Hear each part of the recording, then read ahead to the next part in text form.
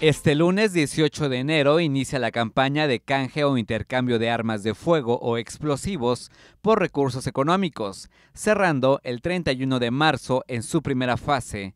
Así lo dieron a conocer el comisionado de la Policía Estatal de Oaxaca, Froilán Cruz Cruz, Miguel Ángel Botello Treviño, presidente ejecutivo del Sistema Estatal de Seguridad Pública y representantes del gobierno estatal. Miguel Ángel Botello Treviño destacó que son acciones específicas en materia de prevención y con ello contribuir a que Oaxaca sea un estado de paz.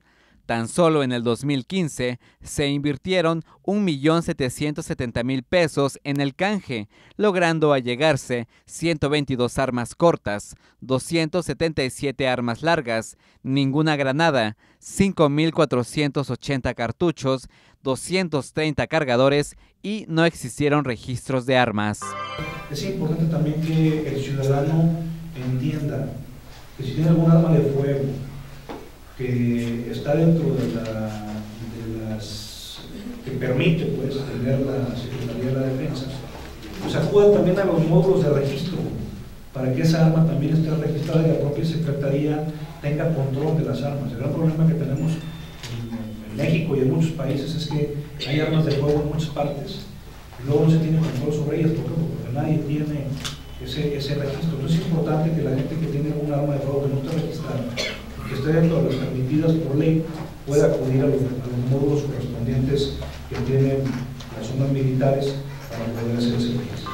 En Oaxaca se instalarán cuatro módulos, uno en la capital oaxaqueña, en Miahuatlán de Porfirio Díaz y también en Ciudad Ixtepec, en un horario de las 9 de la mañana a 2 de la tarde de lunes a viernes y sábados de 9 a 12 horas.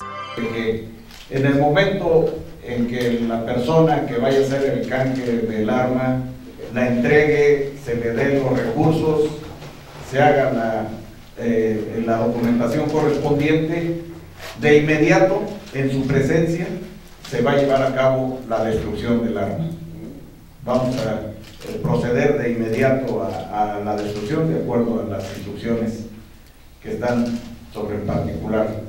Una vez terminado el proceso electoral, a finales de junio se realizaría la segunda etapa en caso de contar con más recursos. Ahí mismo se puede hacer el registro de las armas que consideren ellos eh, necesario.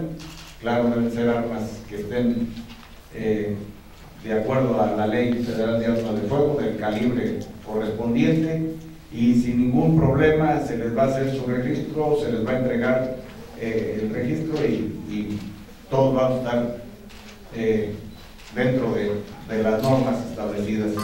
Con imágenes de José Antonio Reyes para MBM Televisión, Celestino Chacón,